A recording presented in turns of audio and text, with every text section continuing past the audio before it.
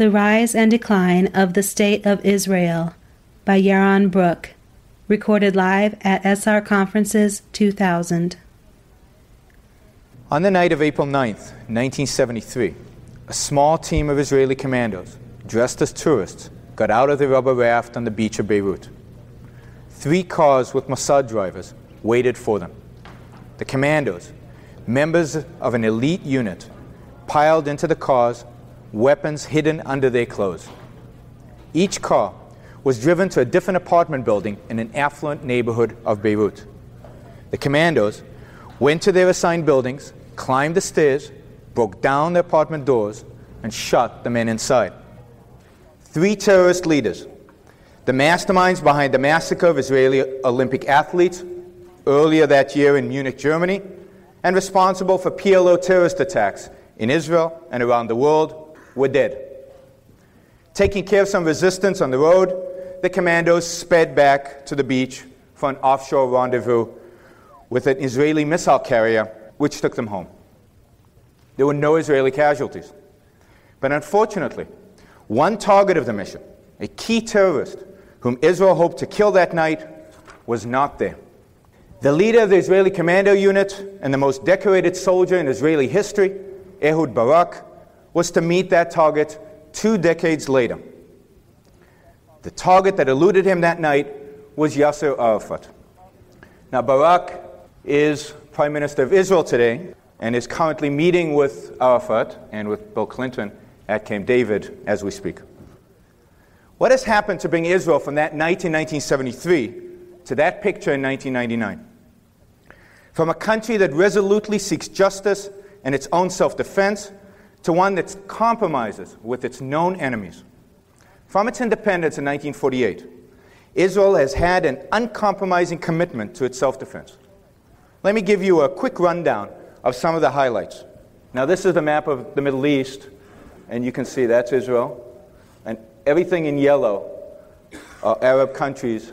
Uh, most of those countries have at some time uh, supplied troops uh, to combat Israel. Israel began its existence by fighting off the forces of seven Arab countries whose troops far outnumbered Israel's. In the 50s and 60s, Israel fought off terrorists at its borders, often pursuing the terrorists into the Arab countries hosting them. In 1967, in a preemptive strike, Israeli forces defeated the combined armies of Egypt, Syria, and Jordan and occupied the Sinai Desert, the West Bank, and the Golan Heights. Now, just a note about the size of Israel Israel is 290 miles long. And at its widest, it is 85 miles wide. In many places, it is much narrower than 85 miles. During the 1970s, Israel fought terrorism around the world. Terrorists knew that they were not safe anywhere, as this above story illustrates. The rescue of hostages from Entebbe, Uganda, is probably the highlight of that decade. And in the 1980s, Israel invaded Lebanon to rid itself of the threat of terrorism in its northern border. Yet Israel is now in retreat. It returned to Sinai to Egypt and retreated from most of Lebanon in the 1980s. It has effectively decided to establish an autonomous Palestinian state in the West Bank and Gaza to be run by Yasser Arafat and the PLO. And for the sake of so called peace, Israel has decided to return the Golan Heights territory to Syria, a country until recently run by a ruthless dictator. The idea of compromising in a land for peace deal has won widespread acceptance in Israel. Just in May of this year, Israel hastily retreated from its last security buffer zone on the Israeli Lebanese border bloodlusting Hezbollah terrorists are now just a few yards, a hand grenade away from Israeli homes. Israel is in the process of committing suicide, of welcoming its destroyers in through the front gate. Why is this happening?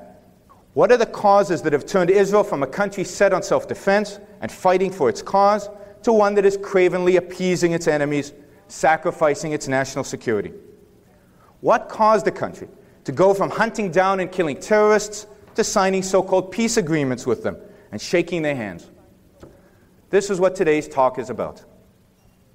Before exploring this issue, let me first address the question of why you should care. Now, there are a couple of reasons.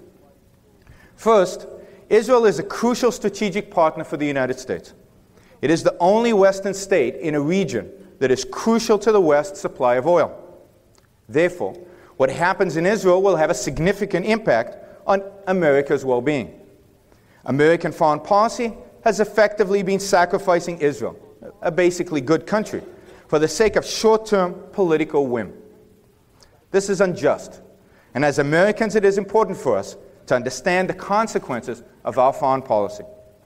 Second, Israel is a vivid, dramatic illustration of the power of philosophic ideas on a culture.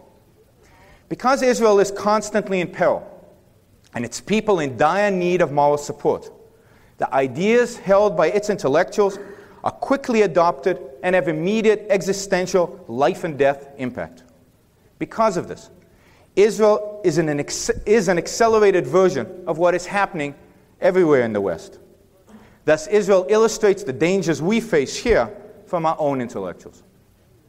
Now, we know that ideas are the, motives, the motor of history. Therefore, to understand the transformation that has occurred in Israel, we will examine the ideas that made possible Israel's existence and the ideas prevalent today among Israeli intellectuals. In addition, we'll examine the role America has played in Israel's decline. There is one thing I will not have time to cover, and that is to prove to you that Arafat and the other Arab leaders are the bad guys. I'll assume your general knowledge here, and you can ask me about it in the Q&A. So to begin with, let us look at the founding and rise of Israel and its ideological roots. Now, Jews have a long history of persecution, going back at least to the rise of Christianity. We don't have time here to discuss the reasons and roots of this persecution, but only to identify the fact that it was still prevalent in Europe of the 19th century. Although the roots of anti Semitism lay originally in religion, by the mid part of the 19th century, the idea was taken up by European nationalists, and in the latter part of the century, by so called scientific racists. And for a detailed discussion of the rise of racism in Europe in the 19th century, see the ominous parallels.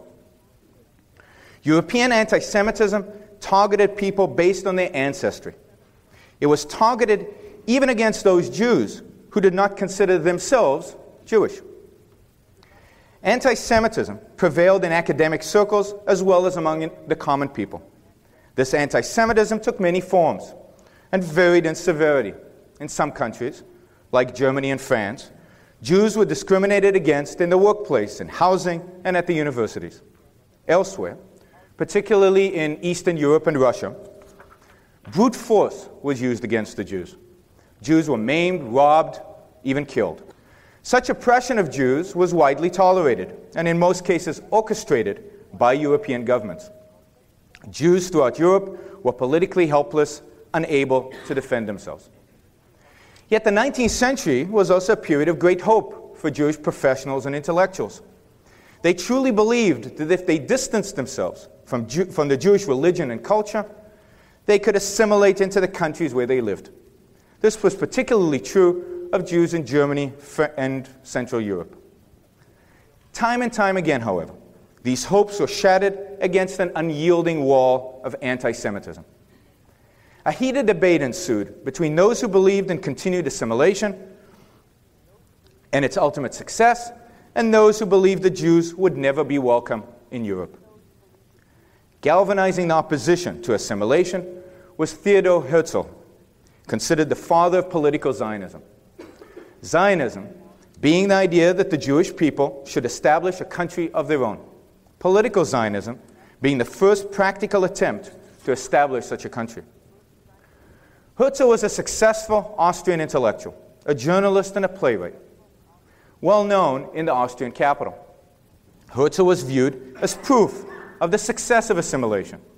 In his mid 30s, however, Herzl came to believe that despite all the efforts, his efforts, and those of other Jews like him, he would always be discriminated against. Herzl concluded that assimilation was impossible even to the most Western, most cultured of Jews, never mind the Jewish masses. Thus, only a country devoted to the physical protection of Jews could stand up to the powers of Europe and protect Jews from what he felt, in the long run, was certain death. Now, given the Holocaust, we now know how wise Herzl was in seeing the growing European anti Semitism. Herzl recognized a real problem and offered a solution creating a Jewish state to defend Jews from rapidly escalating anti Semitism. He rejected the view of Jews as meek, as incapable of pride or of resistance. He viewed the existence of a Jewish state with a strong military as essential for Jews to defend themselves. Hence, the original intent of Zionism was to galvanize the Jews of Europe for the sake of their own self defense in their own country. However, Zionism had to offer Jews a positive value for which to leave their homes and fight. Avoidance of a negative is not enough to move people to make such a difficult and uncertain change. While Herzl was a liberal in the 19th century sense, a believer in the values of Western civilization, in private property, free enterprise, political freedom, he did not believe that these values were enough to motivate Jews to leave Europe, which on its face already respected these values. Indeed, Herzl's fiercest opposition came from Jews who continued to believe in assimilation. As one Jewish German leader put, put it, and I quote, We know but one fatherland, that in which we live. End quote. Herzl needed to define a set of values that somehow would inspire Jews to leave Europe and start a new country in the wilderness. Beyond the question of fighting anti Semitism, what united Jews?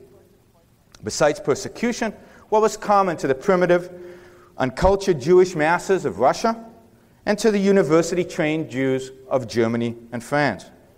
Not to mention the wide cultural differences between the Jews of the East, Morocco, Yemen, Iraq, and the Jews of Europe. Herzl became convinced that for Zionism to unite these Jews for self defense, Jewish cultural identity had to be the driving force of the movement. Herzl himself was not religious, and the Jewish state was never meant as a theocracy. But Herzl was trapped into articulating a vision for a Jewish state. Only Judaism, the religion, he concluded, could serve to unify the Jews. Ultimately, however, this meant that Jewish collectivism would play a primary role in Zionism, while Western values would be given a secondary role. Herzl was the founder of the Zionist organization and spent the rest of his short life, he died in 1904, aged only 44, working towards its goal of a Jewish state. His view of Zionism as an ad hoc unification for the purpose of fighting the evil of anti Semitism, whether it was European, Nazi, or Arab, was a positive. His view that this could only occur in a new country was probably true, given the reality in Europe and given that the US shut its doors to European immigration in 1922. Tragically, Zionism contained the seeds of its own destruction. Countries cannot, about and th- cannot come about and thrive just in order to avoid a negative outcome. There must be a legitimate positive value to be achieved and fought for. Being Jewish means nothing in a fundamental sense. It does not provide political or moral guidance unless, of course, one is religious. Hence, Zionism fused a valid concern, self preservation, amid a storm of hostility, with a toxic premise, ethnically based collectivism and religion. Such was the intellectual context in which the idea of the Jewish state was born. After Herzl's death, a collection of mostly Russian socialists came to dominate the Zionist movement. These Zionists were strongly influenced by Russian socialism of the late 19th century. Although many of them saw internationalism as the ultimate goal of mankind, they viewed an autonomous Jewish state as a way to resolve the Jewish problem now and as a necessary transitional step. The early leftist intellectuals spent considerable, considerable energy trying to justify Zionism in Marxist terms. Many of these early Zionists came to settle in Palestine because Russia was moving too slowly towards the socialist ideal. When these settlers arrived in the unwelcoming, desolate, and disease ridden land of Palestine, their socialist idealism clashed with the reality of pioneering life. While some went on to found kibbutzim, the ideal of egalitarian communist living, and you can ask me about those in the Q&A if you like. Most turned to more practical approaches. They became less and less intellectual, though they retained many of their socialistic attitudes. Indeed, as the fate of Jews in Europe became worse, they focused their energy on Jewish nationalism and the goal of providing a safe home to the persecuted Jews of the world. Thus, over the years, the pacifistic, egalitarian socialists who arrived in Palestine became pragmatic materialists.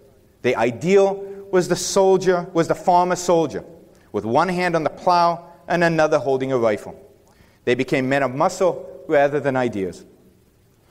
Their focus shifted from the dogmas of socialism to the enormous odds they faced in establishing a Jewish state. Most settlers cared primarily about building a country.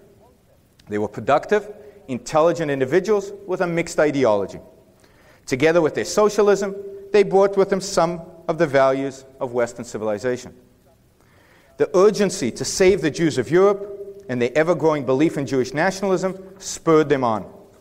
And indeed, from 1904 until the start of World War II, the Jewish population grew from 60,000 to 600,000. Jews came to Palestine with very little, yet they built cities, dried swamps, and cultivated the desert. They built universities, opera houses, and theaters. They transformed Palestine from a backward, sparsely populated, and often fought over piece of land into a thriving, relatively Western, civilized place. It should be noted that the Arab population benefited enormously from this economic and cultural development. Far more Arabs during this period moved to Palestine than left the territory. Birth rates among the Arab population rose more quickly than in neighboring countries. And the standard of living was significantly higher than in other com- uh, Arab countries in the area. By implanting Western values in an undeveloped wilderness, Jewish settlers brought prosperity and economic progress to Palestine and to all of its inhabitants. While the effort to build a country intensified in the 30s and 40s, ideological conflict among the new settlers thrived. The national collectivistic Zionists, the hardcore socialist Zionists, and the religious Zionists were locked in conflict. Political Zionism had no coherent body of ideas underpinning it. The leaders of the movement desperately needed, but lacked, an uncompromising philosophic justification for founding a state for Jews. Indeed, this problem has persisted, festering to this day, and is one of the explanations why, over 50 years after its founding, Israel has no constitution. Its political leaders are unable to confront the question of the meaning of Jewish nationalism without resorting to religion. And while the founders of Israel were sympathetic to religious eh, traditions, they were far from religious themselves. It was only the existence of racism in the form of anti Semitism which made Zionism possible. And it is only the occurrence of the Holocaust, in which six million Jews were slaughtered by the Nazis, which brought about the actualization of Zionism, the founding of Israel. Adolf Hitler had proven Herzl right that the Jews could not survive in Europe that they needed their own state for self preservation. As a consequence, on November 29, 1947, the United Nations passed a resolution dividing Palestine into two countries a Jewish state and an Arab state. The Jews celebrated in the streets, the Arabs mourned. A year later, on May 14, 1948, an oasis of Western civilization was created in the barbaric Middle East. Israel was a state whose citizens were basically free a country in which freedom of speech and press were preserved, a country that protected, at least to some extent, the property rights of its citizens. Israel was a country that upheld political freedom in a region where brutal despotism was, is the norm. In its first 35 years, Israel exhibited a rarely seen commitment to self defense and to the preservation of its Western values. This was true despite its socialistic economy and the rampant collectivism in almost every aspect of its culture. To a large extent, the memory of the Holocaust and the Zionist idea of Jewish strength in the face of anti Semitism drove Israelis to be courageous and determined in their battle. For a while, they fought confidently. As the years wore on, however, The memory of the Holocaust faded, and a strong Israel made the dangers seem less immediate, less real. Israel was not founded on a cohesive, consistent set of values, but as a reaction to anti Semitism, and therefore as primarily a response to negative. Its founders did not articulate the positive values on which Israel could defend its existence long term. This is analogous to an American Declaration of Independence that lacks the passage about the right to life, liberty, and the pursuit of happiness. It is impossible for America to have survived just on the basis of rejecting King George without advocating a positive ideological alternative. Engulfed by Arab terrorists and unending wars, Israelis today question the reasons for their struggle. What does Zionism have to offer in terms of answers? What positive values should Israelis fight for? What right do they have to use force against the Arabs? Isn't it easier just to negotiate? David Ben Gurion, the leader of the Zionist movement from the 1920s on, and Israel's first prime minister, articulates the modern Zionist answer. I quote No Jew is at liberty to surrender the rights of the Jewish nation and the land of Israel to exist. Even all the Jews alive today have no authority to yield any piece of land whatsoever. This right is reserved to the Jewish people throughout the generations. Our right to this land in its entirety is enduring and eternal. And until the coming of the redemption, we shall never yield this historical right. End quote. So, what does that mean? It means that Israelis should fight because it is their duty to the Jewish nation, past and present, and because as Jews, they have a right to the land. Modern Zionism asks of Israelis to sacrifice their life for the sake of the dead and for the sake of the yet unborn generations of Jews. But the idea that Jews, as Jews, have a right to the land of Israel is invalid. This idea relies by necessity on mysticism, the idea that God gave this land to the Jews that they are his chosen people. No group, qua group, has any rights other than the rights of its individual citizens. Observe how secular Zionists, like Ben Gurion, must resort to religion and ethnicity to justify their claims. Also, notice that all versions of Zionism share a deeper premise. Despite surface differences, all these views are fundamentally consistent. They ask Israeli to lay down their lives for someone else, other Jews because they are Jews, in the name of nationalism or religion, or fellow Jewish proletarians in the name of socialism. These approaches are all forms of collectivism and altruism.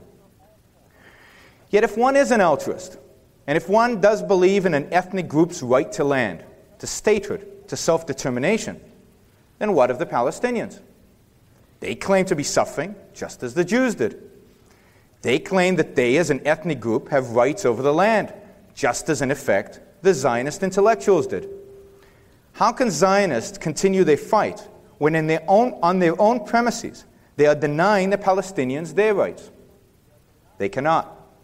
That is why, as soon as Arafat claimed to be seeking peace, the Zionists capitulated. Here was a man who represented a suffering people, an ethnic group that sought to make its claim for statehood a reality. How could Israel say no?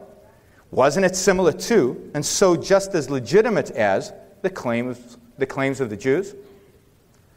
Zionists have no answers. They are trapped by their own premises, by their own altruism and collectivism. By denying Arafat's claim, Israel would be, in a sense, denying its own validity. But by capitulating to Arafat, Israel would ensure its own destruction at the hands of a man with thousands of murders on his hands.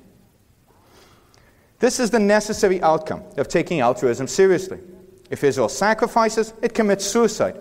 But if it rejects Arafat, it negates its own justification for existence. Either way, it's doomed.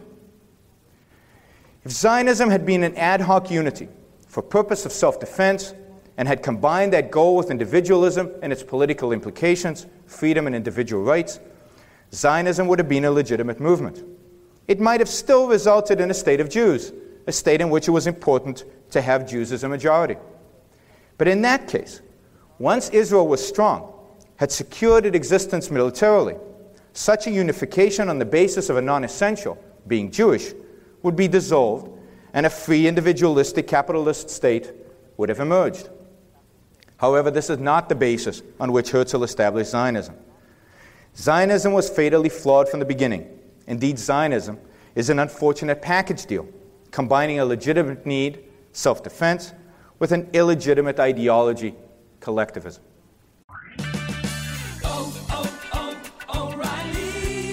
Looking for quality auto parts for your vehicle? Shop one of the 133 Los Angeles area O'Reilly Auto Parts stores. You'll find we have convenient locations, thousands of brand name parts in stock, extended store hours, everyday low prices, and well trained professional parts people. O'Reilly Auto Parts. Better parts, better prices every day.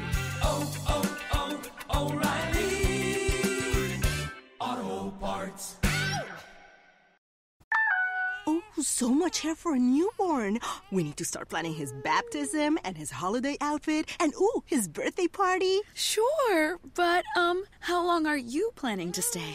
If you're one of those who goes to meet your newborn nephew and stays until his first birthday party, switch to Cricket Wireless. Use your phone as many days as you want in Mexico without extra cost. Smile. You're on Cricket. Requires eligible plan. Minimum $55 per month. Data speed usage and other restrictions apply. Coverage not available everywhere. See store for details.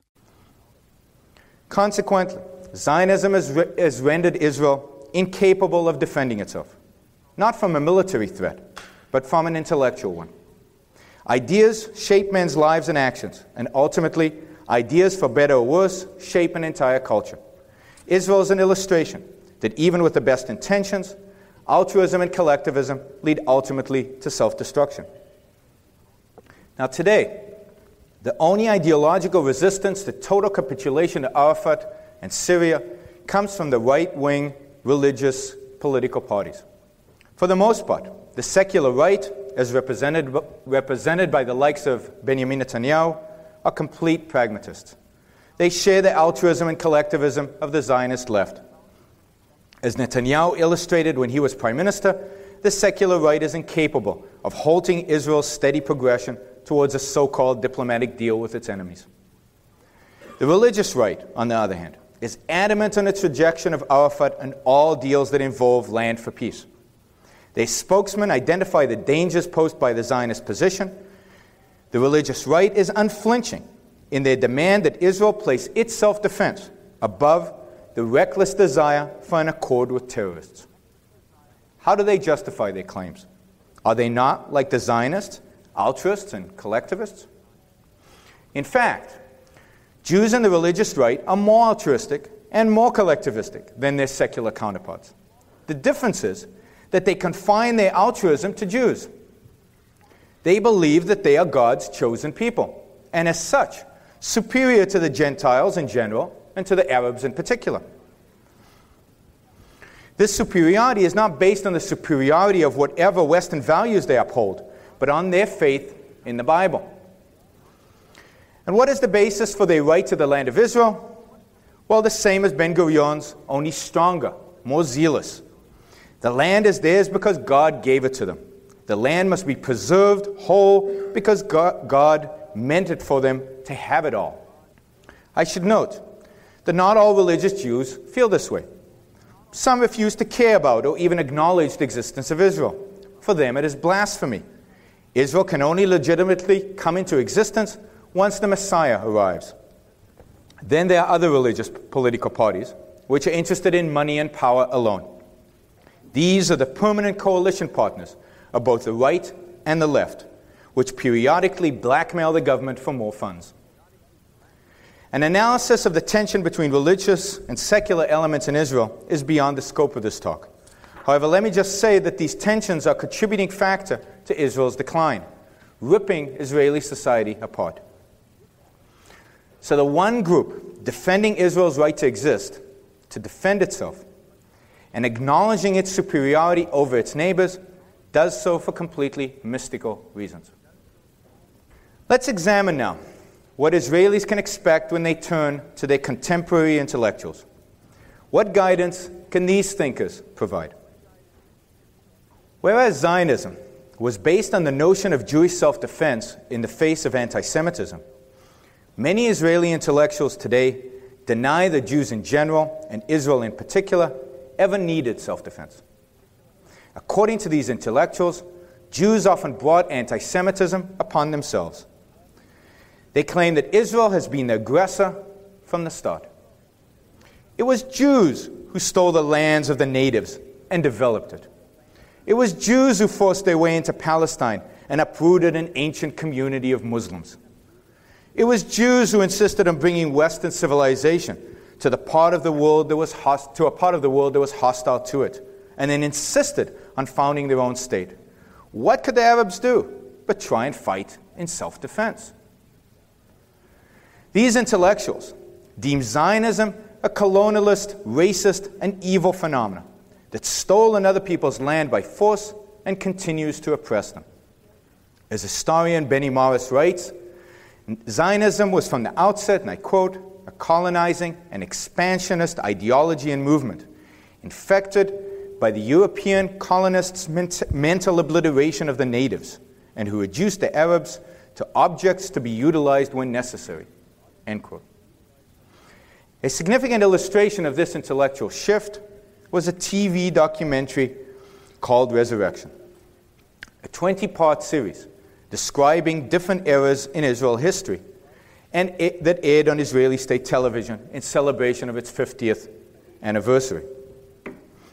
The segments dealing with the establishment of the state in 1948 condemned Israel for evicting the Palestinians with brute force.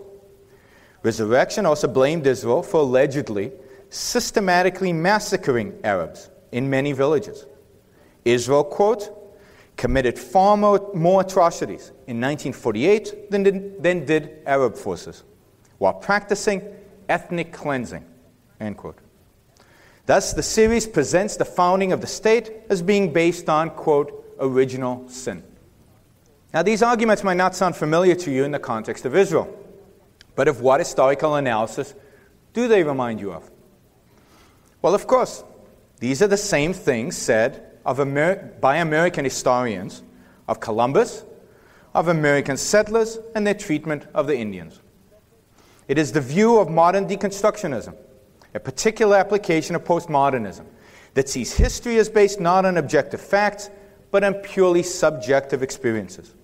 The past is whatever its author says it is. To hell with the facts, logic, and truth. Such modern historians unapologetically evade facts, drop context, and make things up in order to rewrite reality to fit their subjective view of what happened. At root is their hatred of Western civilization, hatred of the good for being the good, pure nihilism. The same hatred drives Israel, Israel's so called new historians. They despise the state, in part for good reason, its heavy emphasis on religion, but fundamentally because Israel is an oasis of Western civilization in the Middle East. These intellectuals hate what the West stands for and are ready to embrace the primitive Arab East. To make their connection to postmodernism explicit, these new Israeli intellectuals call themselves post Zionists and often cite American postmodernist literature. Now, for more details on postmodernism, I refer you to uh, Dr. Hall's black hole article in uh, TIA. These intellectuals come from a long line of egalitarians. They view all positions or cultures as equally legitimate. In this sense, they follow in the ste- footsteps of American multiculturalists. Another application of postmodernism. Indeed, one Israeli politician and intellectual has proposed adding to the Israeli flag the Muslim crescent moon. Others have urged that Israel offer Arabs special rights, a type of affirmative action, for the protection of their culture and to guarantee an Arab majority in certain parts of Israel. They suggest establishing a day of mourning to remember the injustices committed against the Palestinians, while at the same time oppose any kind of Holocaust remembrance programs. Post Zionists take their egalitarianism to its logical, consistent end. Consequently, they view all uses of force as equal. Israel is the aggressor. Self defense is meaningless. It's still the use of force. Hence, they un- unabashedly compare the Israeli army with that of Hitler. One of Israel's most renowned philosophers, has called the Israeli Defense Forces Judeo Nazis and declared that Israel would be engaging in, and I quote, mass expulsion and slaughter of the Arab population and setting up concentration camps, end quote.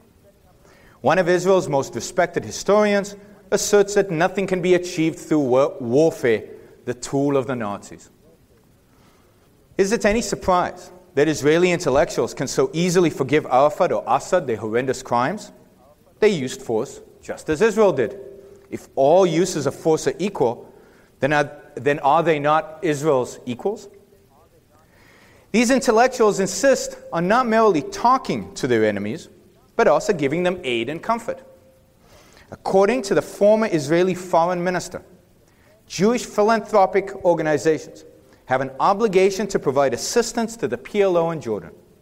I quote Anyone who objects to American aid to the PLO has no right to be called a friend of Israel. End quote. Now, many of these intellectuals are universalists. They do not believe in any nation state, but in a universal utopia. As one philosopher at Tel Aviv University says, the only hope for Israel is a world, and I quote, in which traditional nation states wither away, surrendering their power to make strategic, economic, and ecological decisions to regional organizations, and their power to structure cultural policies to local national communities. End quote. Note that these ideas do not remain in the ivory tower, but have a real, immediate impact. I quote Shimon Peres, former prime minister and foreign minister and the architect of the Oslo Agreement with the Palestinians. I quote National political organizations can no longer fulfill the purpose for which they were established that is, to furnish the fundamental needs of the nation. A nationwide organization is not sufficient to ensure security. It can be seen that a new type of citizenship is catching on, a new personal identity. Particularist nationalism is fading, and the idea of a citizen of the world is taking hold. End quote. Elsewhere, Peres has said, and I quote, there can be no doubt that Israel's next goal should be to become a member of the Arab League. End quote. It should be noted that 40 years ago, Peres was a strong advocate for Zionism, the right hand man of Ben Gurion. Yet he has returned to the socialist roots of early Zionism. Today, the explicit Marxist overtones are gone. Israel is no longer expected to meld into the international workers' collective. Instead, Israel is told to merge its culture, its Western values, with those of the Muslim Arab world. And what should Israel do in the face of Arab violence? How should its military respond? Let me illustrate this. In early December 1998, Israeli television again and again played a video clip of an Israeli soldier surrounded and beaten by a Palestinian mob without making any attempt to defend himself, followed by his fleeing without his gun. In some circles, the action of the soldier was celebrated as the fulfillment of a new spirit in Israel. An editorial in the country's leading newspaper, Haaretz, gleefully wrote of the soldiers, and I quote, heroic surrender. And to further quote the article, the myth of Israeli courage shatters before our eyes. A public outcry is sounded, and hardly anybody asks whether perhaps the myth itself is unnecessary, anachronistic, or even harmful. The recurring question pertains to the basic values of Israeli society. Do we, do we really want brave soldiers who risk their lives? In today's Israeli society, the macho man of the past must no longer be a hero. We are, be, we are better off being a wimpy state. End quote. The intellectuals question the validity of self defense, of the use of force, of courage, of heroism. To a country like Israel, in a constant state of war, the repudiation of these ideas undermines the very basis of the moral foundation on which the country has existed and on which it has defended itself for over 50 years. It undermines the legitimacy of self defense by claiming that all power is corrupt and by rewriting history and claiming that Jews never needed self defense intellectuals are branding Israel the aggressor. The obvious contradictions do not bother them because they're complete subjectivists. Now, while these intellectuals share a theoretical framework with their American counterparts, there is one important difference. For American intellectuals, this is still, for the most part, a game in which, short-term existen- in which the short-term existential impact of their idea, ideas poses little threat to the nation, its economy, or its security, short term. In Israel, by contrast, the intellectuals have a much greater impact. Israel is a small country, its population well read and educated. Israelis are much more exposed to the ideas taught in the, in the universities. New ideas spread like wildfire. While the contemporary source of post Zionist ideas can be easily traced to American postmodernists, it is interesting to note that, they, that these ideas can be traced further back to a long line of Jewish intellectuals. Israel's first university, the Hebrew University, was founded by a group of German intellectuals. In the early 1930s, they were busy translating Kant into Hebrew. Since Kant is the father of subjectivism, both in the US and directly in Israel, it's not hard to see how this intellectual beginning at the most important university in Israel led to the current crop of postmodernists. Now, the chain does not stop there, it goes further back. The intellectuals who founded the university were heavily influenced by their teachers, Jewish German intellectuals of the 19th century. These intellectuals were typically anti Zionists and pro German. They were also explicitly Kantian. One Jewish philosopher in particular had a strong influence on the intellectuals who later came to Palestine. His name was Hermann Cohen, and he was a full professor of philosophy at the University of Marburg the first Jew to hold such a position. Cohen took his Kantian philosophy seriously and vigorously applied it to the Jewish problem. The hallmark of pure selflessness, he argued, is suffering. In suffering on behalf of another, and only in suffering on behalf of another does the individual vanquish his self interested ego and attain true unity with his neighbor. And only by suffering on behalf of all men can the individual attain unity with mankind, the moral ideal. Now, how did the Jewish people fit into this? Let me quote Cohen Jewish history, insofar as it exhibits moral ideas, is a continuous chain of human, of national suffering. These servants of the Lord have always been despised and pierced through, cut off from the land of life. The messianic people suffers vicariously for mankind. End quote. For Cohen, it is the very essence of the Jews that they suffer, and it is their suffering that gives them moral worth. Thus, the Jews must be dispersed like a quote, divine dew among nations, powerless and stateless, demanding nothing for themselves. Their goal, says Cohen, is to teach other nations to suffer as Jews do.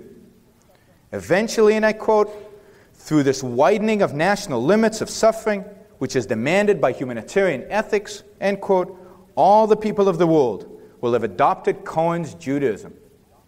If Jews are meant to suffer, if that is how they generate their moral worth, then anti Semitism is good.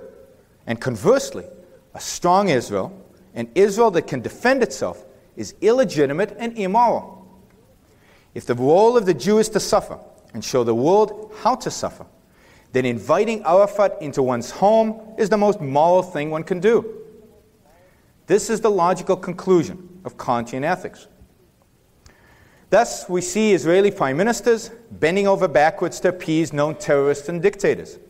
We see an army that has lost its resolve, a once brave army that flees Lebanon, in the words of a Hezbollah terrorist, and I quote, like dogs with their tails between their legs, end quote.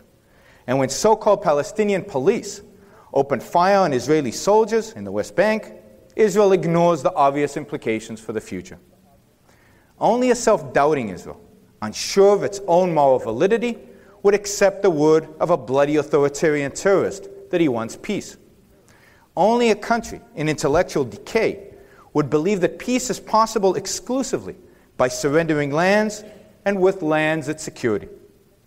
It is the moral uncertainty regarding its own existence, combined with altruism, that leads Israel to acts of self sacrifice and ultimately to suicide.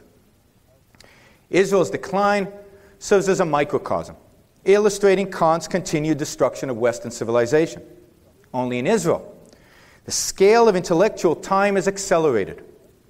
The tool of destruction is the modern offspring of Kant, postmodernism, which has been imported to Israel from the US and ultimately from Germany. Sprint's Unlimited Plus plan. It has Hulu, Tidal Premium, 15 gigabytes mobile hotspot, and full HD. Atlas, we need to shout that from the rooftops. Best deal ever! I didn't mean literally. Switch to Sprint's Unlimited Plus plan for just $42 per line. But hurry for a limited time, it's now $22 per line when you bring or buy your own phones. Visit sprint.com slash unlimited or call 1-800-SPRINT1. Price with $5 per month auto pay discount. One Hulu limited commercials plan for Sprint account. Features differ. Offer coverage not available everywhere. Excludes taxes, fees, and roaming. Requires new line subject to credit and $30 activation fee speed. Maximums use rules and restrictions apply. Now there's one other element that is important in understanding Israel's decline, particularly to this audience and that is the role of the U.S. We've already seen the central role of ideas in Israel's decline, including the role of American intellectuals in influence post Zionism. However, in its pragmatist, anti intellectual foreign policy, America has also physically crippled Israel's attempt at self defense. Contrary to popular belief and to American State Department propaganda, America has been actively hampering Israeli self defense from the very birth of the State of Israel. Not only has America's intervention existentially harmed Israel's security, it has also fatally damaged Israel's moral resolve. Now, I only have time to present you with a few lowlights, but I think they will convey my point. Following the UN resolution to establish Israel, a resolution the US supported, the Truman administration slapped an arms embargo on the Middle East. This was done with a full knowledge that the Jews in Israel had nothing but old rifles and homemade mortars to fight off heavily armed Arabs. Both the US State Department and the CIA predicted that the Jewish community could not defend itself and would be annihilated. When Israeli independence was declared, America refused to rescind the arms embargo, again with full knowledge that Israel was being invaded by the combined forces of seven Arab states. During the war, the U.S. pressured Israel to withdraw from territories it had occupied and let the invading Arabs escape with as little damage as possible. The U.S., though refusing to arm Israel, had no qualms about arming several Arab states Saudi Arabia, Libya, Jordan, and Iraq, who would be directly involved in military conflict with Israel. It was not until the late 1960s that America agreed to supply weapons and aid to Israel. In 1973, while defending itself against a massive surprise attack from Syria and Egypt, Israel captured positions within striking distance of Damascus and Cairo. However, Henry Kissinger, the U.S. Secretary of State, made sure to stop Israel in its tracks. Kissinger again intervened when Israel was on the verge of completely destroying Egypt's Third Army, thus robbing Israel of the fruits of victory. After the war, Israel was forced to compromise to accept, uh, was forced to accept massive compromises in an attempt to appease the Americans. In 1982, Israel invaded Lebanon to destroy PLO terrorists. Israeli forces succeeded in surrounding Beirut, trapping Arafat, his entourage, and thousands of Palestinian terrorists. But it was the Reagan administration that forced a ceasefire, negotiated to let Arafat leave Beirut with all his men, and supplied troops to protect the departure. Now, for those of you who remember, 241 U.S. Marines were murdered in their barracks by terrorists as part of a related mission to Beirut. Arafat departed Beirut in a yacht bearing the UN flag, to which he was escorted by a human shield of Red Cross, UN, Greek and French ambassadors. Yet, as his car passed through the streets of Beirut to reach the harbor, Israeli commando snipers hidden in the buildings and on rooftops had Arafat in their gun sights every inch of his trip. But whereas in the 1973 mission described in the opening, it was luck that saved Arafat from this same commando unit. In 1982, it was the West, led by the United States. But America's worst betrayal of Israel came during the Gulf War. The U.S. created coalition of international forces assembled to combat Iraq, comprised of America's European allies and the forces of Syria and Egypt and other Arab countries. Israel had the most competent troops, the greatest experience, and the strongest interest, was pointedly excluded from the coalition. Though neither Syria nor Egypt had, mo- had much involvement in the war, both countries were rewarded handsomely. Egypt's $7 billion debt to the U.S. was erased. Syria was promised that the U.S. would actively seek Israeli withdrawal from the Golan Heights.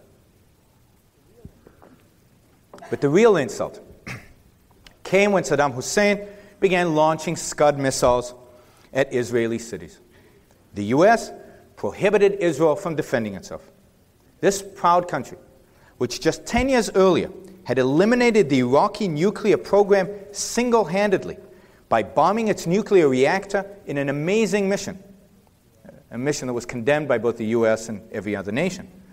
This proud country now stood helpless. Israeli citizens wearing ridiculous gas masks sat passively waiting for the next missile to hit. The image of the suffering, weak, helpless Jew was now reborn. Israel's enemies had won and securing the victory for them was Israel's biggest so called ally. Throughout Israel's history, the U.S. has used the threat of economic and military sanctions in an attempt to force Israel to compromise. On numerous occasions, the U.S. has prevented Israel from benefiting from its military victories. As Dennis Ross, the Clinton administration's special envoy to the Middle East, has written, I quote, We are the only ones who can stop the Israelis in wartime. The Arab world knows well that it has been the U.S. that pressured Israelis to stop in every war. This alone provides a certain baseline in our relations with states like Jordan, Saudi Arabia, and Egypt. End quote.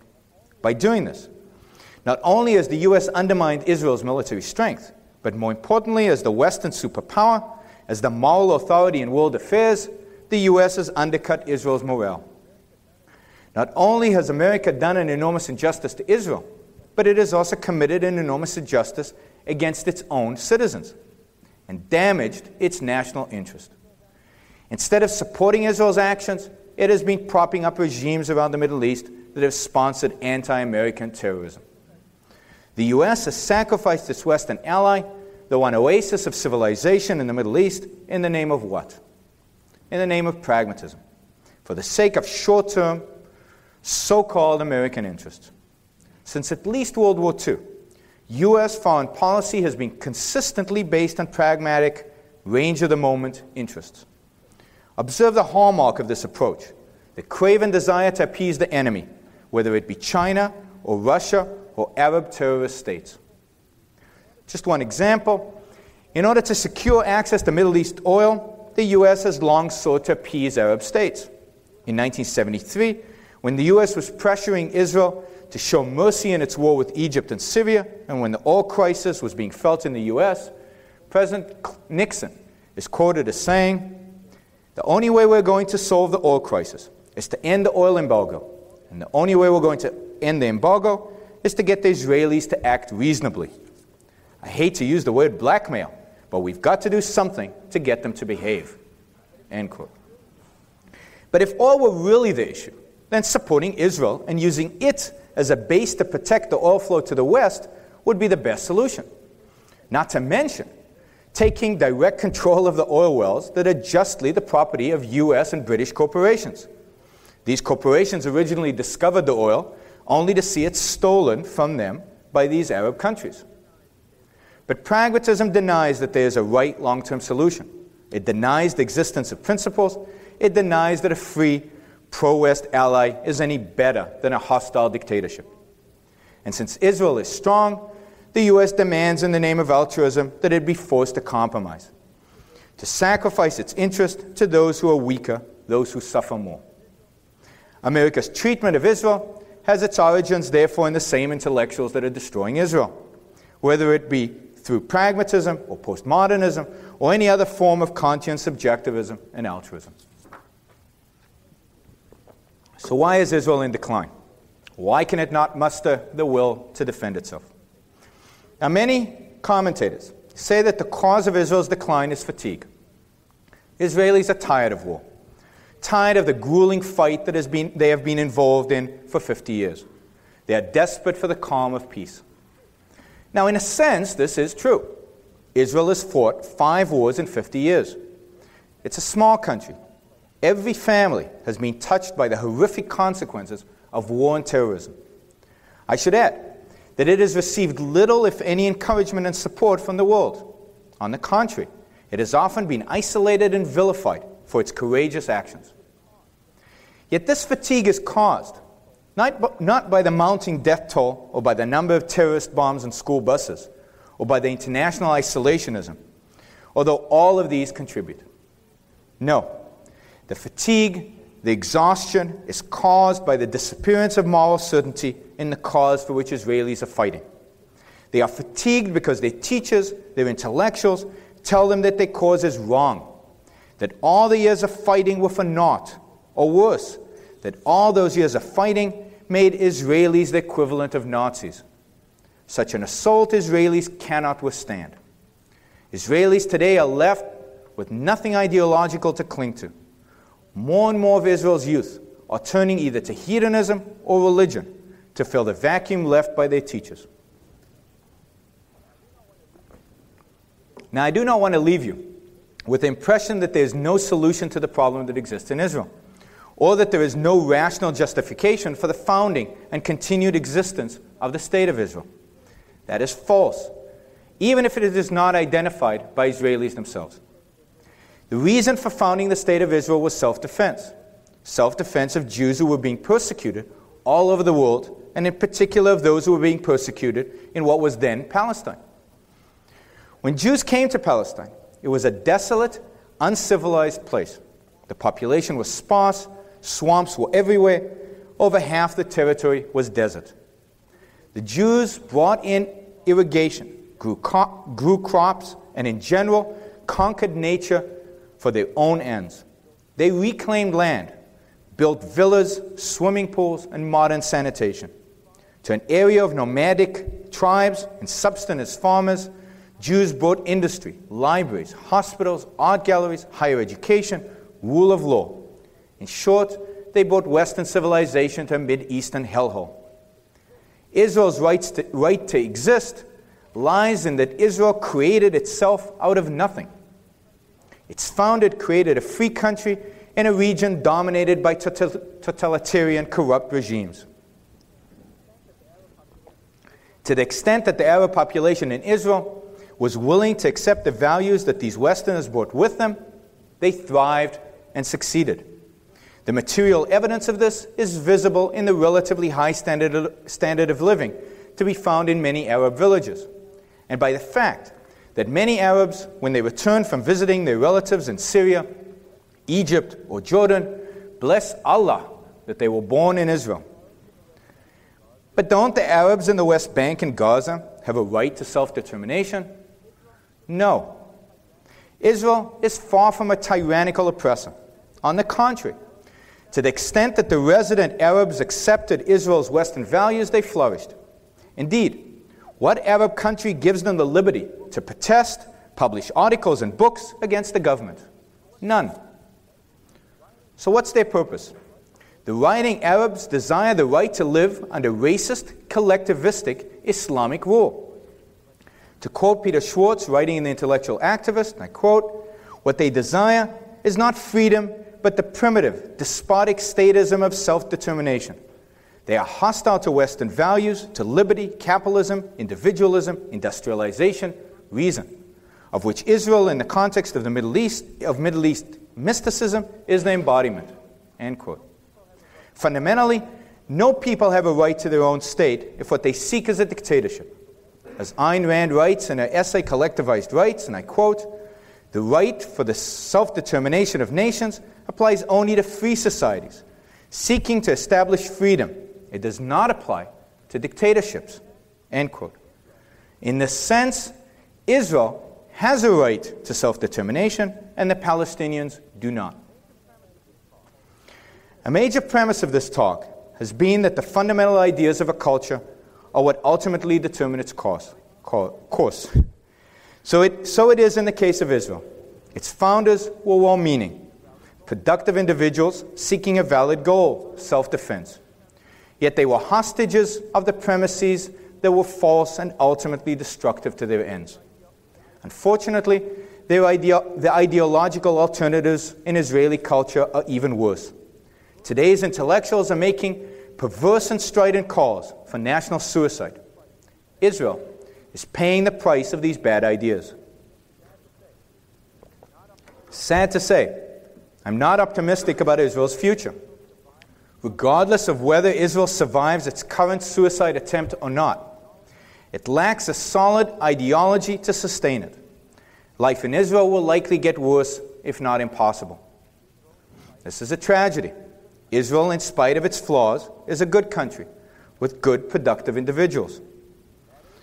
The ideal solution, that is, for Israelis to establish a new fundamental ideological framework, one based on the, not one based not on the superiority of Jews, but on the superiority of Western civilization, not on Jewish rights, but on individual rights. Such a solution is impossible in the absence of an intellectual revolution. As one of Israel's better intellectuals has observed, I quote, Israel need not be defeated militarily to be defeated utterly. The entire job may be done on the battlefield of ideas. End quote. As the history of Israel's decline amply demonstrates, philosophy is the motor of history, and accepting bad philosophy is lethal. Now, that's a depressing way to end a lecture. So let me end on this thought. If Israel could have done so much with so few good ideas, think how much they could have done, or more importantly, how much we can do with a complete and consistent philosophy for living. Thank you. Hi, I'm a helpful Southern California Honda person, and recently we've been doing random acts of helpfulness, like surprising a deserving dad with a brand new grill and helping give back to our veterans. And during the Honda Summer Spectacular event, we can help you too with a great deal on a reliable award winning Honda, like the Accord, the 2018 North American Car of the Year. Click the dealer locator link to find a dealer near you and go to SoCalHondaDealers.com to suggest a random act of helpfulness for someone you know.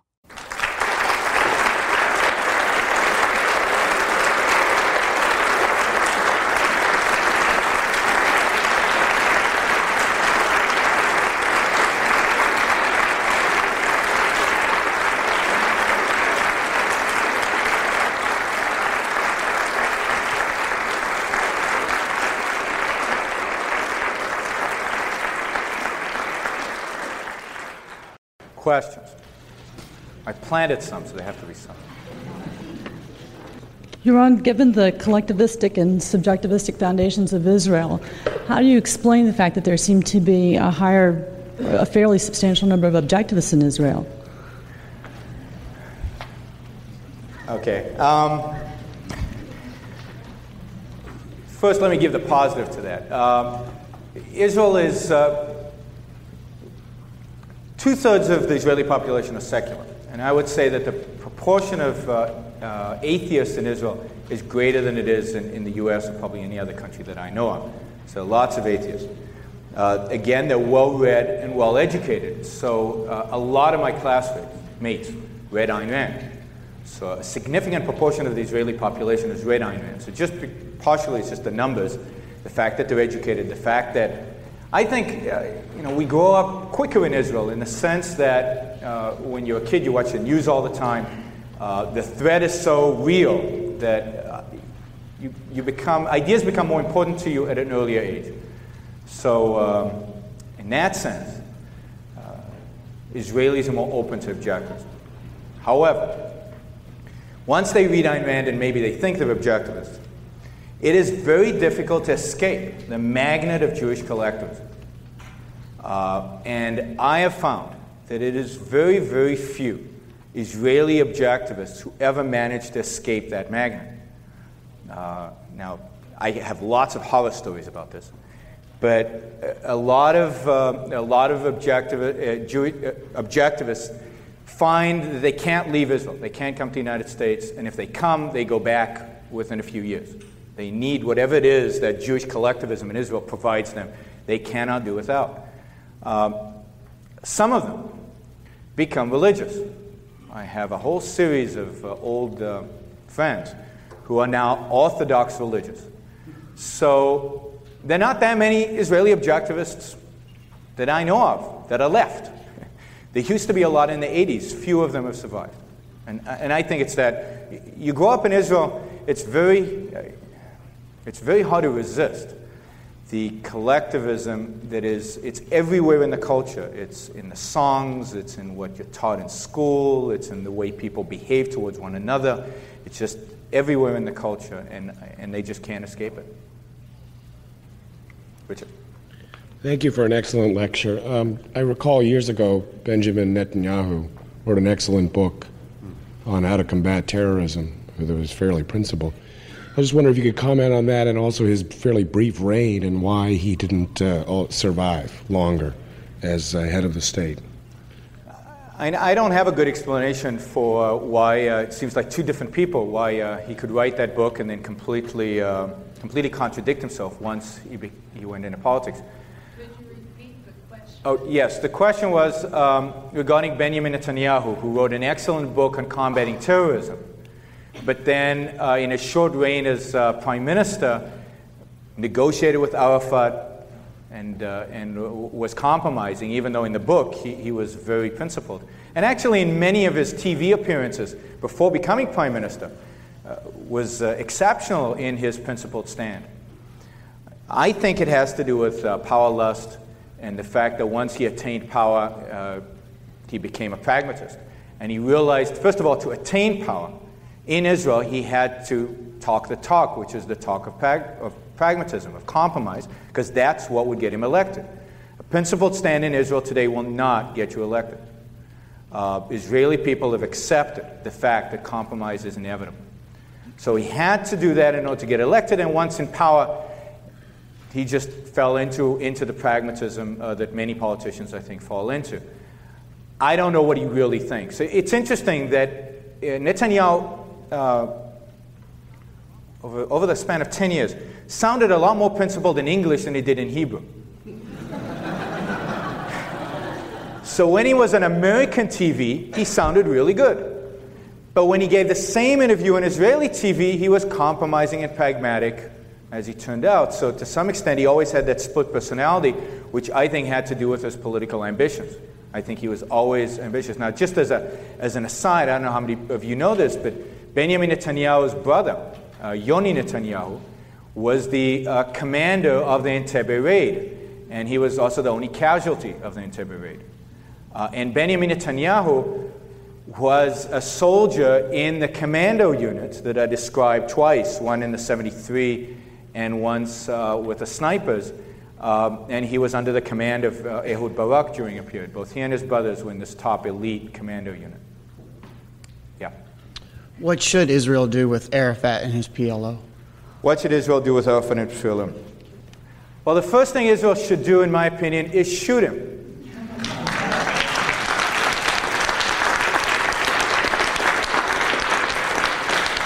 They should thoroughly and consistently go through the entire leadership of the PLO, and anybody with any terrorists in its past should be shot. Then they should say to the Palestinians, if you want to talk, you know, come up with a leadership that has no blood on your hands and let's talk. In general, what Israel should do is not give up a scrap of land because that land is necessary for its security. If you saw the map of Israel, a Palestinian state would be literally a street across from, from Jerusalem. This is Jerusalem, this is the Palestinian state. Tel Aviv, this is five minutes drive. This, it's just militarily impossible to defend.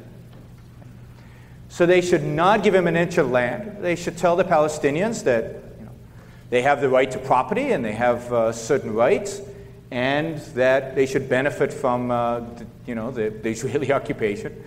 And those who do not want to, those who riot, can be sent to Jordan.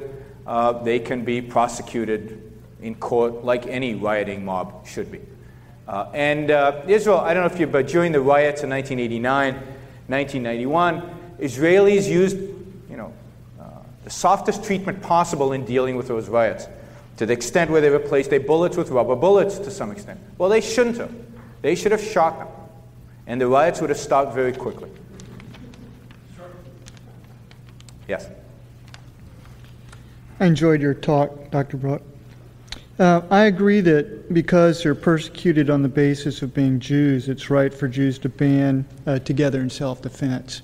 If black haired people started slaughtering brown haired people, I think we ought to get together and mm-hmm. do something about it.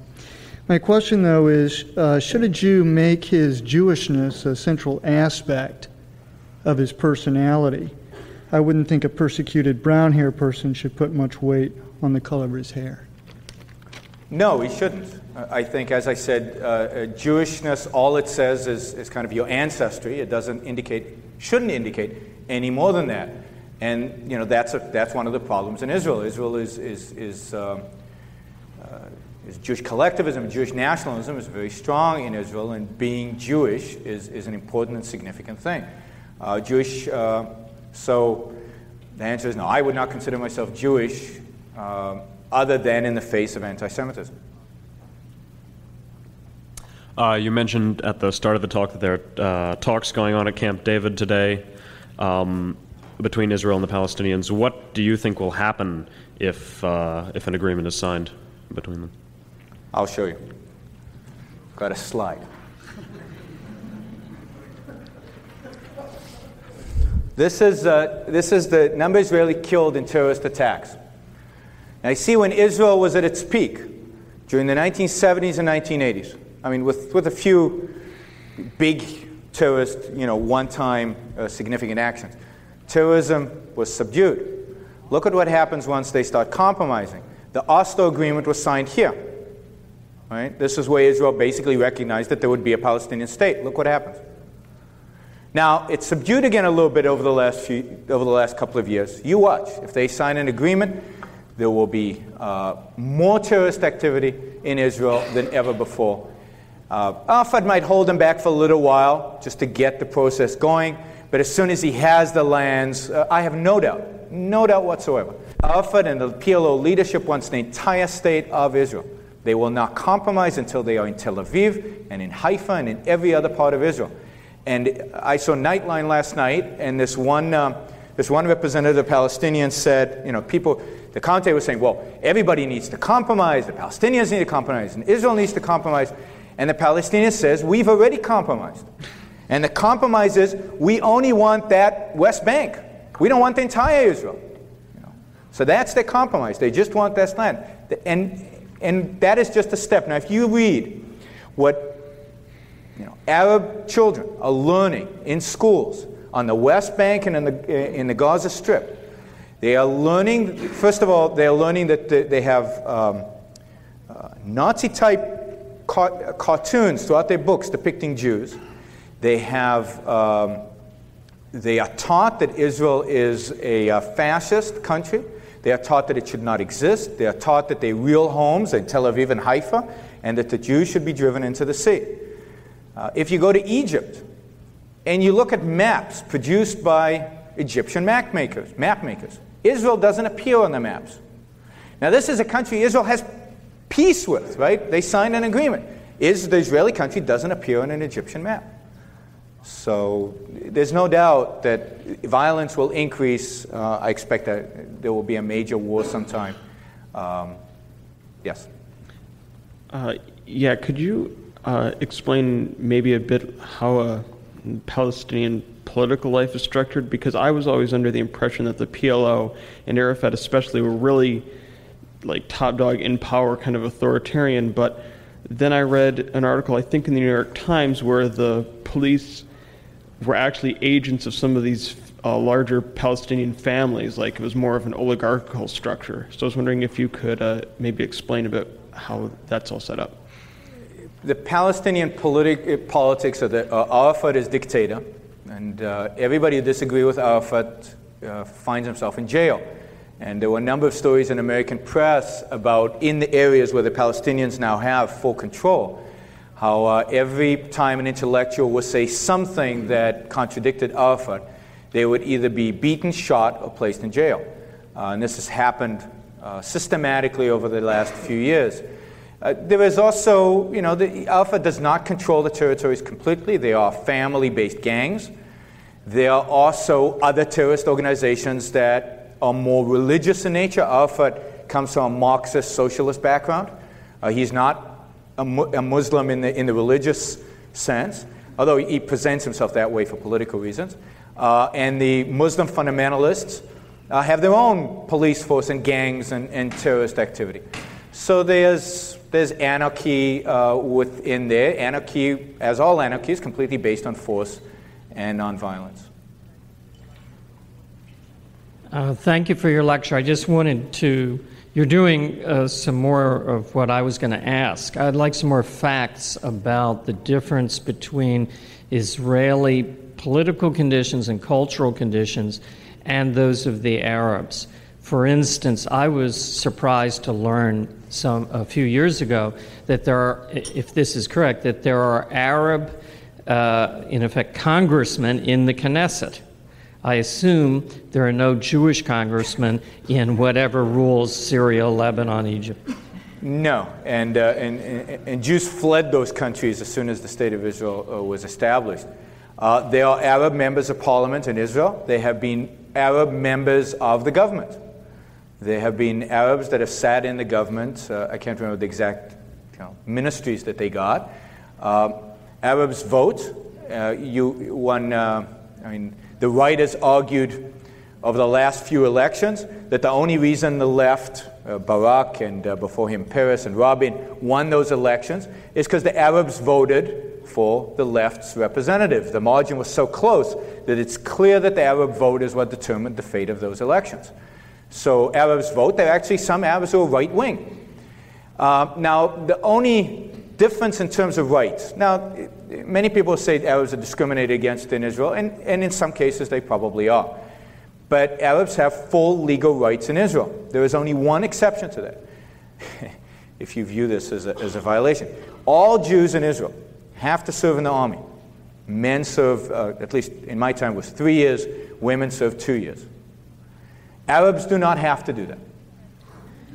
They don't get to go into the army. They can't even volunteer. Now, there are sects of Arabs that do serve in the Israeli army because they have volunteered, because they hate the Syrians and the Egyptians and so on as much as the Jews do. Uh, there's a sect called the Druze, and there, there are other sects that serve in the Israeli army and are very, very diligent and good soldiers in that army. So, uh, in terms of uh, politics, there's, a, there's an enormous difference. There is no democratic Arab country in the Middle East. Lebanon is probably the closest during its heyday in the 60s. And then it, then it became, uh, then from 1972, I think it was, uh, it went into civil war with the, uh, you know, the Muslims and uh, the Muslims, the, no, the Muslims, the Christians, and the Druze slaughtering each other uh, for, until, until the early 1990s. Um, hi, my question is about Madeleine Albright and her role in all this. I personally feel no matter how many attempts she makes to try to be the peacemaker, I really think that Arafat and all his people, it's basically a religious war. It's always been and, and it will continue to do so. What is your opinion about that? I think Madeleine Albright is evil.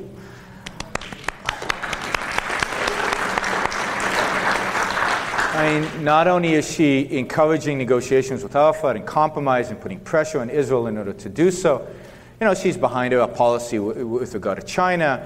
Uh, she's also, um, you know, was regularly visited Assad, uh, the uh, Syrian tyrant. Uh, and I can't remember if she went to the funeral or if Clinton was considering going to Assad's funeral. And this is a man who, when there was opposition in a uh, northern town in Syria, sent the troops in, and they basically annihilated the town, killing every man, woman, and children there. Um, this is a, a, ruthless dictator. And this is somebody who, you know, I hope died very slowly and painfully. and who the Clinton administration wanted to send representatives to be at, the, at his wedding, at his uh, funeral. Yes, Tara. I just wanted to clarify something. Did you say that Israel, for a period, didn't have a constitution or doesn't have a constitution? Israel does And- not have a constitution. Okay, this and could day. you say more? You said something about religious conflict. If you could just clarify that a little bit, thanks. As to why. Israel doesn't have a constitution today primarily because of the conflict between secular Jews and religious Jews. Uh, the religious Jews will block it at every opportunity because the secular Jews would like to have a relatively secular constitution. Um, and uh, the religionists would like it to be based on Jewish religion and Jewish law. Now, in addition, there's a conflict between the socialists and uh, the right. Historically, the socialists would have wanted a very socialist, they would have wanted to put the socialist principles into the Constitution, and the right objected to that. So it's kind of multiple conflicts it's religion, socialism, uh, the right.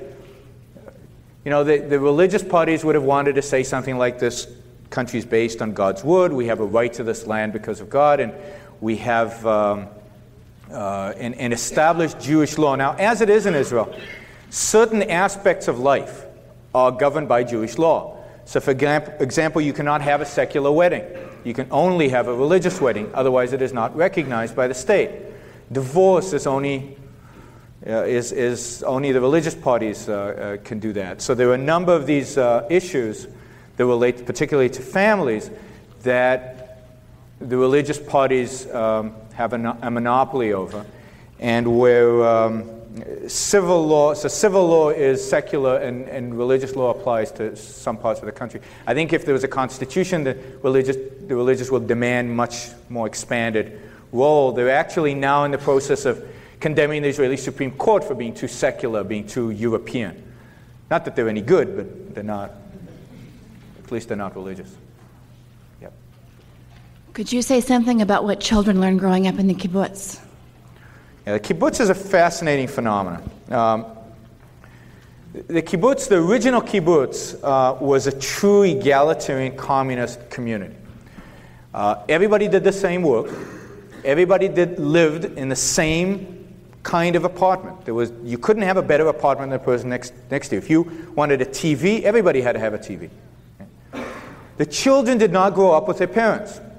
Children grew up communally together in one big room. They all slept together. They were taken care of by the person responsible for bringing up the children. Meals were eaten communally.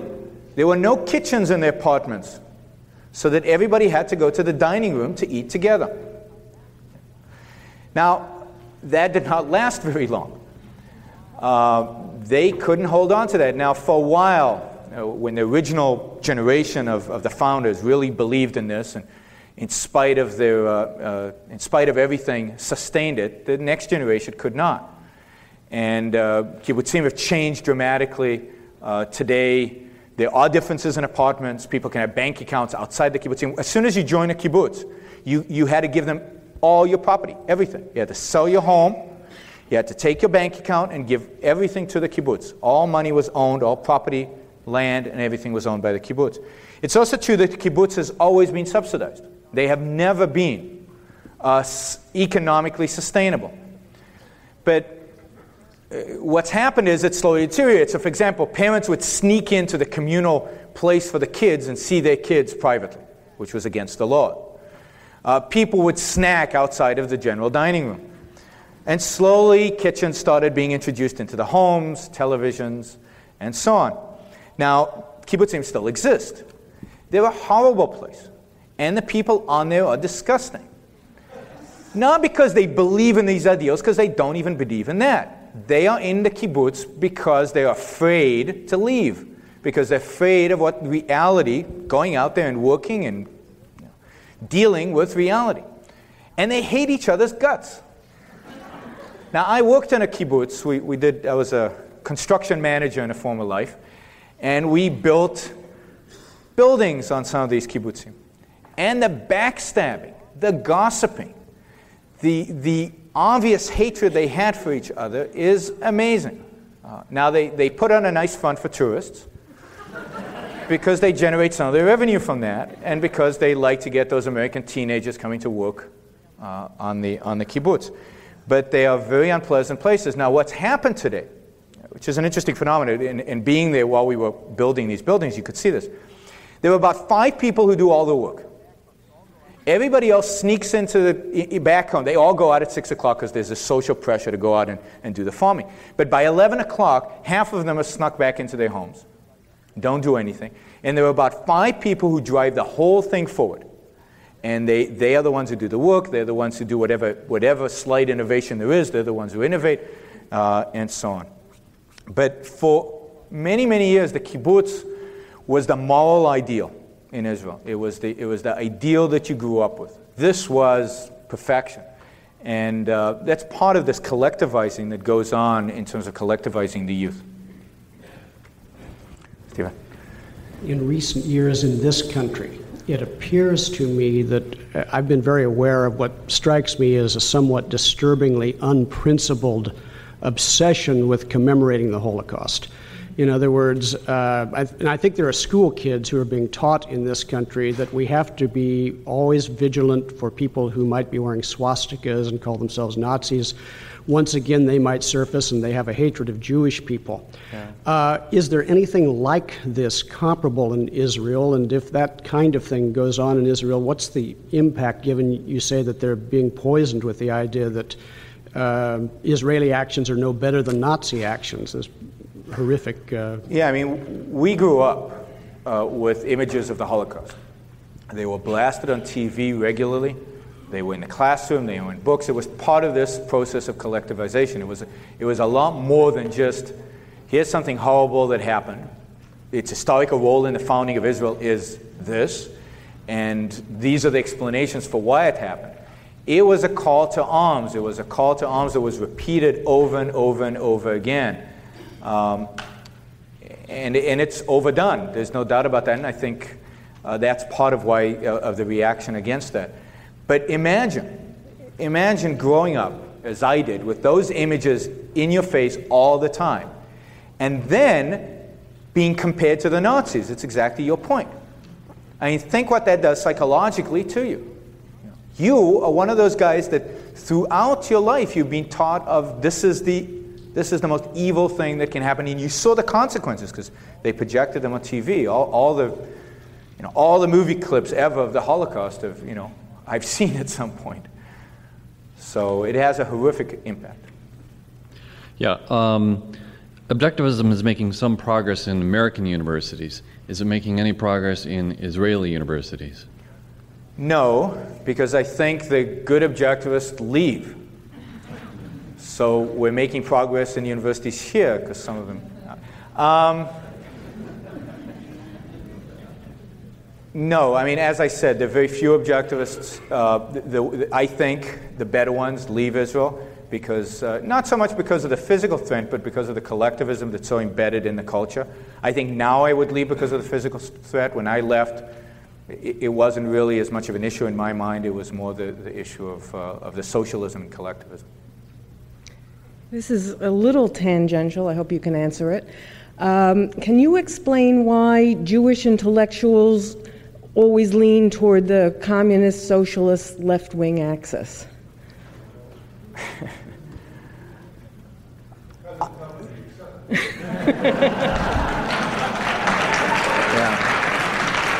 And some who are not present. Um,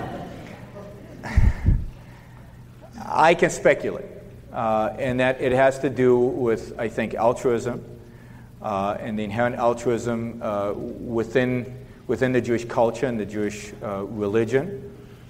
I also think that as, I don't know if this is right, but as a persecuted minority in, in, in the 18th and 19th centuries, uh, unfortunately, for whatever reason, they didn't, they didn't see the, the U.S. alternative, the right to liberty, uh, they viewed all the West as discriminating and hurting them. And uh, for whatever reason, it seemed like the left, with, with its egalitarian notions of everybody being equal, appealed to them much more than the alternative, which wasn't philosophically, you know, didn't have a strong philosophical base, and, and was in America, which was, I think, still far for them.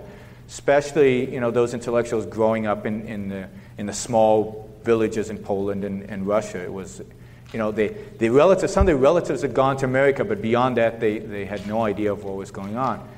Um, that's the best I can do. Plus, you know, Jews have been attracted to intellectual movements uh, since, again, the 18th century. And whether we like it or not, the most intellectual movements of the 19th and early 20th century were all left wing. Uh, there were no good right wing intellectual movements uh, in, um, uh, in Europe during those decades. Hopefully, we're changing that. Hi, I'm a helpful Southern California Honda person, and recently we've been doing random acts of helpfulness, like surprising a deserving dad with a brand new grill and helping give back to our veterans. And during the Honda Summer Spectacular event, we can help you too with a great deal on a reliable award winning Honda, like the Accord, the 2018 North American Car of the Year. Click the dealer locator link to find a dealer near you and go to SoCalHondaDealers.com to suggest a random act of helpfulness for someone you know. yeah, um, my question is about the uh, Professor uh, Cohen that you mentioned, who was uh, instrumental in spreading Kantian ideas of, of Jewish duty. Was that also some element, or were there elements in his thought of um, of uh, I guess of Nietzschean ideas. Like in the genealogy of morals, I know Nietzsche says that it's the role of Jews in history to teach suffering to the world. And I, does, is, because you talked about uh, Jewish teaching suffering, is there a strong strain of that Nietzschean thought in, in Israel? I don't know. I, in Israel, I don't know. It's the best answer I can give. I have uh, two related questions. Um, you were talking about the education level in Israel, so I was wondering is there a brain drain going out of Israel, and are there uh, immigration restrictions out of Israel? Out of Israel or into Israel? Out of Israel. No, you can leave Israel. That, it's not a problem to leave. It's a question of where can you go. Um, the U.S. Uh, makes it very, very difficult to get into the United States. There is a brain drain going on. Uh, you can see that if you go to Silicon Valley, where a significant part of the startups and of the engineers there are Israelis. However, there's far less of a brain drain than one would expect given the conditions in Israel. And this goes back to the sense of collectivism, a Jewish collectivism that, uh, that you know, almost, I won't say brainwashed, but uh, is pounded with from childhood. It makes it difficult for the best, even the best, to leave. And Israel today is probably second only you know, to the U.S., if not to Silicon Valley, in high tech. Uh, there are more Israeli startups in Israel in the high tech area than in any other country. The Israel, uh, Israeli companies on the NASDAQ, the only other country that has more uh, companies on the NASDAQ outside the United States is Canada. Israel has more startups on, on the NASDAQ than any European country. So there's a brain drain, but there are a lot of, a lot of smart engineers still in Israel. And, you know, that has to do with we actually, actually have an, a traditional fairly good educational system in Israel that, with all this collectivism, still teaches you math and reading.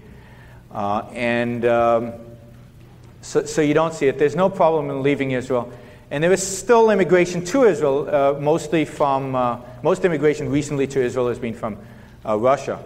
Uh, and it has been a very uneducated, very, um, these people are re- relatively backward in both their education and their culture. And you know, you can't expect much from somebody who's lived under communism for, for so many years. But that's the biggest immigration into Israel right now. I guess that's a signal. We're done. Thank you.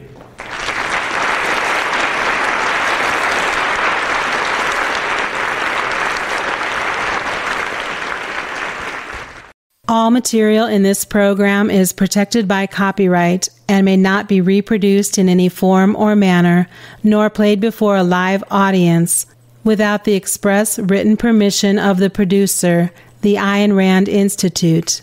For further information or to order other products, please visit eStore.aynrand.org or call 1 800 729 6149 so much hair for a newborn. We need to start planning his baptism and his holiday outfit and ooh, his birthday party. Sure, but um how long are you planning to stay? If you're one of those who goes to meet your newborn nephew and stays until his first birthday party, switch to Cricket Wireless. Use your phone as many days as you want in Mexico without extra cost. Smile. You're on Cricket. Requires eligible plan. Minimum $55 per month. Data speed usage and other restrictions apply. Coverage not available everywhere. See store for details. Welcome to the Total Wireless Store, where total confidence awaits. I need a smartphone with an awesome camera. Got anything to fit a new dad's budget? Don't worry, you got this with Total Wireless. And now you can get $50 off on select phones $99 and up. My relatives won't miss a thing. Now you can focus on the important stuff, like diaper duty. Discover the Total Wireless stores and get total confidence. The latest phones, the best network, all at great prices. Now open in LA. Limited time offer in 63018. Available while supplies last. Porting required for a non-Tracfone brand. Offer only available at Total Wireless stores. Visit store for details. Total Wireless stores. Visit store for details. Total Wireless stores. Visit store for details. Total Wireless stores. Visit store for details. Total Wireless stores. Visit store for details. Total Wireless stores. Visit store for details. Total Wireless stores. Visit store for details. Total Wireless stores. Visit store for details. Total Wireless stores. Visit store for details. Total Wireless stores. Visit store for details.